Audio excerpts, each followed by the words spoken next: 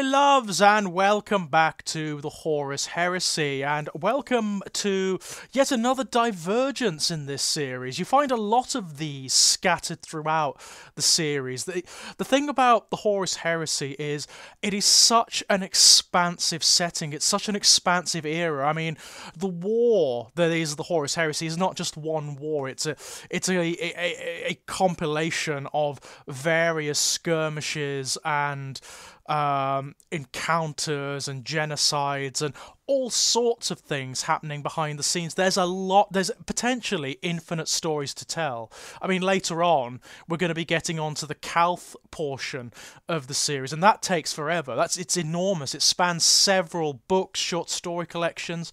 It's absolutely enormous.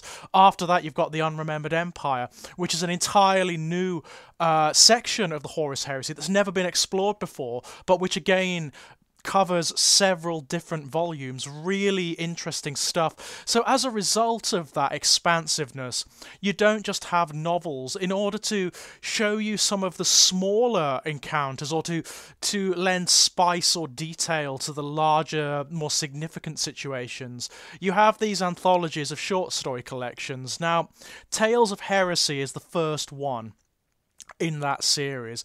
It's um it's one of those books whereby there's a lot of good stories here. There's a lot of interesting tales here, a lot of well written tales. But the raw fact of the matter is, if you're going for the main story, if you're going for the main thrust of the Horus Heresy, if you just want the straight narrative from Horus Rising to the Siege of Terra, you can largely miss this one out that that isn't to say that the stories here aren't significant. They are.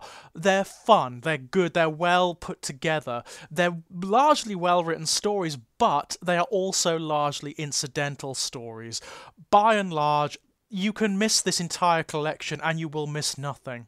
You can skip directly to the next book in the series and you'll have missed nothing. These are they're more like diversions or distractions from the main story that just lend it a little bit more texture, that lends it a little bit more spice. So how you engage with these quite frequent anthologies that crop up every now and then that sort of punctuate the main flow of the Horus Heresy. It depends on what you want from it, how whether you engage with them at all. I mean, there's a couple of stories that you absolutely have to read in these short story volumes. Like uh, there's one coming later, not in this collection, but in a later collection called uh, "The Reflection Cracked," which is of course a reference to Oscar Wilde, and you absolutely have to read that one because it's a it's um it's key to events that happen later. Here, the vast, vast majority are fun, well written, but largely incidental.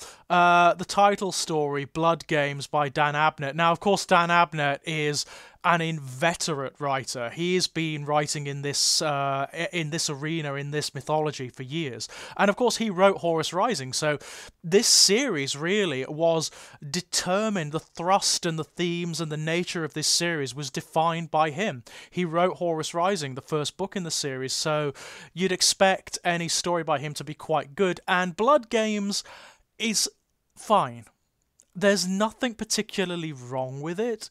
It's a really well written, punchy story. What's really interesting about it is you get a look at Terra for the first time. I mean, you actually get this intimate, in depth look at Terra. And not only that, but how certain military structures and chambers and processes work on Terra, how the politics of Terra works. It's from the perspective of an actual custodian.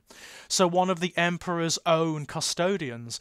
Um, so, you get an in depth look into how they operate with reference to the emperor and to what's happening in the uh, the wider metaphysics of this universe. So it's good, it's very well written, it's very interesting, but is it important? Is it one that you need to read? Absolutely not. Absolutely not. The same is true of the next one, Wolf at the Door by Mike Lee. Uh, it's a good bit of action involving the space wolves, but that's about it it's about it.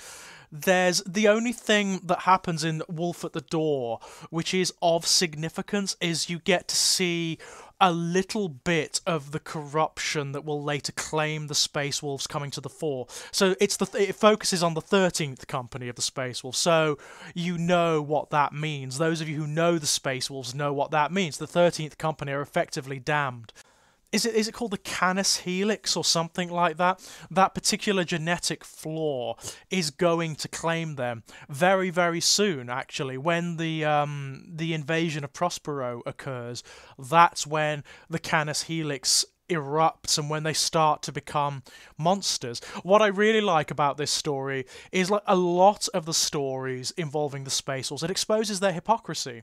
They condemn the Thousand Sons for harboring secrets, for not not telling the wider Imperium about what they're doing, about what they're harboring, about their genetic corruption. The Space Wolves do exactly the same thing exactly the same thing. They do everything in their power, as do the Blood Angels they do everything in their power to actually uh, conceal what's happening to them from the wider Imperium because they're afraid of censure, because they're afraid of being condemned in the same way that they condemn the Thousand Sons. There's a lot of that here.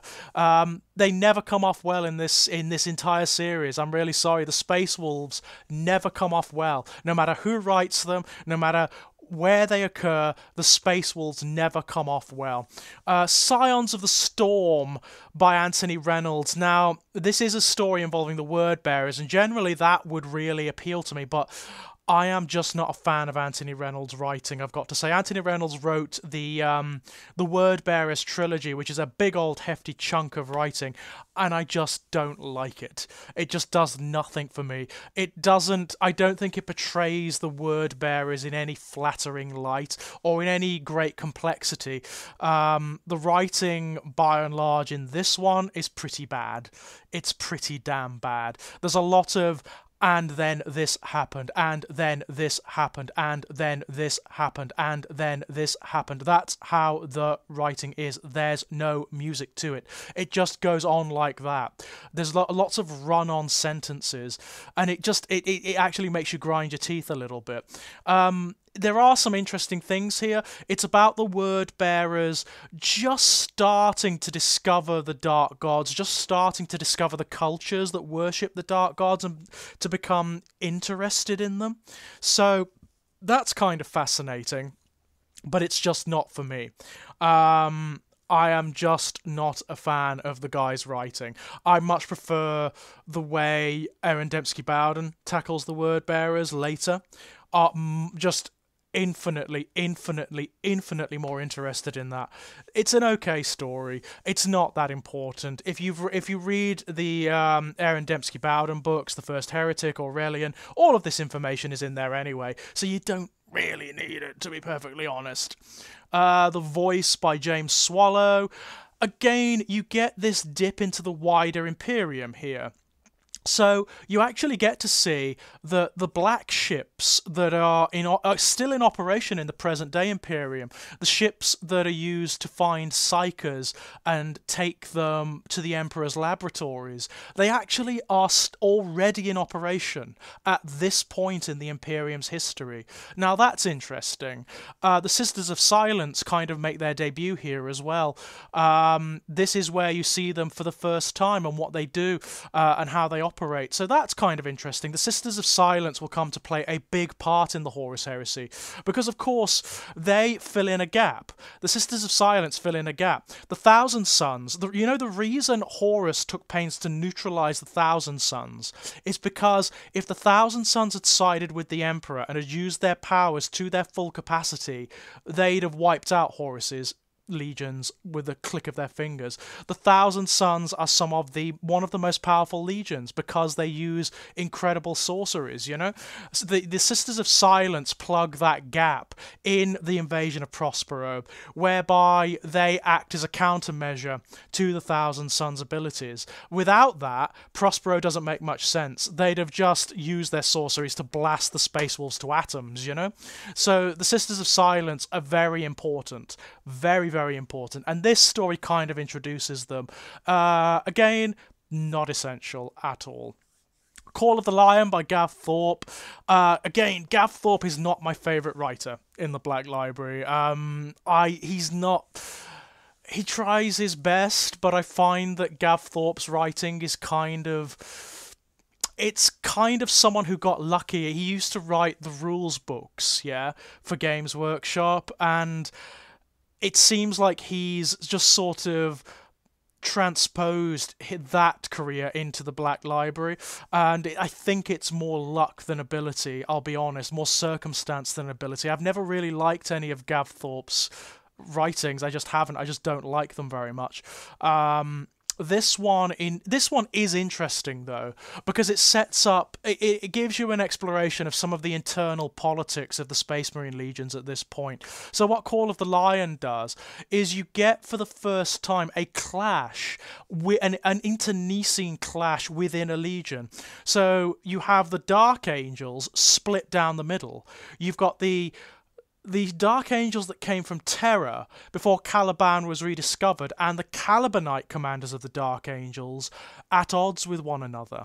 And that is fascinating. The fact that these divisions were already occurring, totally without the influence of chaos, by the way, these political and cultural divisions were already there. That's interesting. That is interesting. It's not great. It's not that essential really but it does it does explore some interesting elements of the internal politics. Now the next story the last church by Graham McNeill is one of the more important stories in this collection. Um, what the last church establishes for the one thing it's one of the very few stories that focuses almost exclusively on the emperor. This is a story about the emperor of mankind and you get to see him as a protagonist in this story. And it's not much. I mean all it is is it's set before the Horus, way before the Horus Heresy, and kind of before the establishment of the Imperium as well. This is set on Terra long before the establishment of the Imperium, and it is essentially what it says on the tin. The Emperor and his his unification armies arrive at the gates of the last church, the last temple on Terra, and most of the priests have fled. Most of them are gone because they know what the Emperor's regime does to priests. And there's only one priest left, and the, the entire story is just a philosophical and ideological discussion between the Emperor and this priest. It's quite good. I've got to say, it's quite good. Um, the argument doesn't go deep enough. It's not quite as expansive enough as it could be. This is not. Don't expect to come here and find a philosophical discussion that's incredibly deep or a metaphysical discussion that's incredibly deep. You're not going to get that. But it is interesting that this discussion is occurring in this setting. It really does establish this book, this short story, that this is the emperor's regime is not just secular, it's it's it's uh, it's tyrannical, it's despotic, it's oppressive. He is actually attempting to wipe out entire realms of human experience and um, consideration and inspiration. He wants this to be the last church, and he wants there to be no more, not even discussion of metaphysics. It, I mean, it, it, does explain a little bit of why he comes down so hard on the likes of the Word Bearers and the Thousand Sons. He wants that gone. He makes that very clear in this short story. What I find interesting is, although I would naturally, because of my own inclinations, usually side with the secularist in this, the priest's arguments are actually way better than the emperor's, and I like that rather a lot. He calls the emperor out, essentially. He calls the emperor out for just being a, a hypocrite who's just basically wants worship to come to him. He want all he really wants to do is establish his own ideology that's absolute and unquestionable, and will be uh, obviously mandated through force. That's what the the priest says to him, and it's absolutely correct. Um, and it ends with the burning of the last church and the priest still inside. So yeah, this is introducing a wonderful bit of ambiguity. Um, the next story after Desh'ea uh, by Matthew Farrer is again not essential, but is a very good story indeed because this leads into some of the stuff that happens later in the heresy. This is this uh, focuses on the Warhounds, and the Warhounds are the World Eaters. They were called the Warhounds before they were called the World Eaters, before they rediscovered Angron on Nuceria, and this is the story of what happens when they do discover Angron. Now, for most of the other legions, when they rediscover their Primarchs, it is this vast celebration. They they uh, describe this metaphysical experience where upon setting eyes on their primarchs they know who they are they know what their place is they know what their purpose is and suddenly they're led by these incredible super beings who are highly intelligent and who restructure the legions and give them the essence of their own souls i suppose. That doesn't happen here. That doesn't happen for the warhounds when they find Angron, he's mad. He's beyond mad. In this story, he is sealed in the hold of the Conqueror, the, the, the flagship of the Warhounds, and he is rampaging. Whoever they send down there, he rips apart. He, he is killed any number of the World Eater's officers who have gone down to try and parley with him.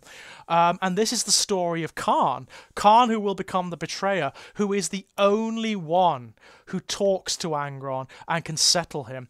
But it's also an internal look. Uh, you get an internal look of what Kharn's feeling, which is this incredible sense of desolation, because this was supposed to be the saving, the saving of their legion. This was supposed to be what made their legion like the others. You know, that put them on the same footing as the others. Didn't happen. Didn't happen. Whereas all of the other legions discovered Primarchs who'd reconquered their worlds and turned them into these almost utopian ideals. Of course, that didn't happen for Angron. They find this blood-maddened, violent berserker who can't, who can barely hold a cogent conversation, um, and it's Kharn who eventually eventually calms him down and who starts to build relations between the Legion and the Primarch. It's actually a really good story, this one. Well worth checking out. Not essential at all, because all of this is actually told in backstory in the books that come later, like Betrayer. But it is a good it's a it's a nice sort of intimate look of this moment where the Warhounds, uh, the World Eaters to be, realize that their legion is never going to be like the others. It's never going to be in the same ascended place of the others. So you kind of get the beginnings of their downfall here, really. It's um, it's an interesting story as a whole. The collection, Tales of Heresy, I'd uh, it's it's difficult to recommend unless you're an absolute purist, unless you're a completionist and you want to read absolutely everything in this series. Largely it's kind of incidental. Like most of the short story collections in the Horus Heresy, it's a punctuation book. You can just skip over to the next novel in the series, to be honest. But it is diverting. By and large, it's well written, the stories are engaging, and they introduce some nice bits of fluff, you know? Some nice bits of character and uh, stuff to get your teeth into. I, I like that element of them. They explore parts of the universe that maybe haven't been explored yet and introduce notions that haven't been been introduced yet. So yeah, it's a worthwhile read. It's just not essential. If and you have to bear in mind there's a lot of reading to do in this series. So if you are reading from beginning to end, this might be one of those that you want to skip over just for brevity's sake. Um, but yes, when we get back, ladies and gents, we will have a look at the next novel in the series. So until then, bye bye!